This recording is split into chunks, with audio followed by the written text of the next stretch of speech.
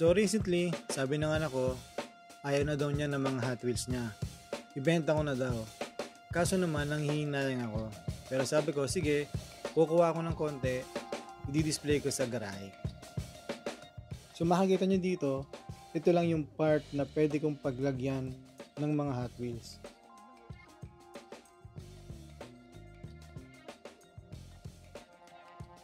At kaya naman, nag-isip ako ng simpleng idea.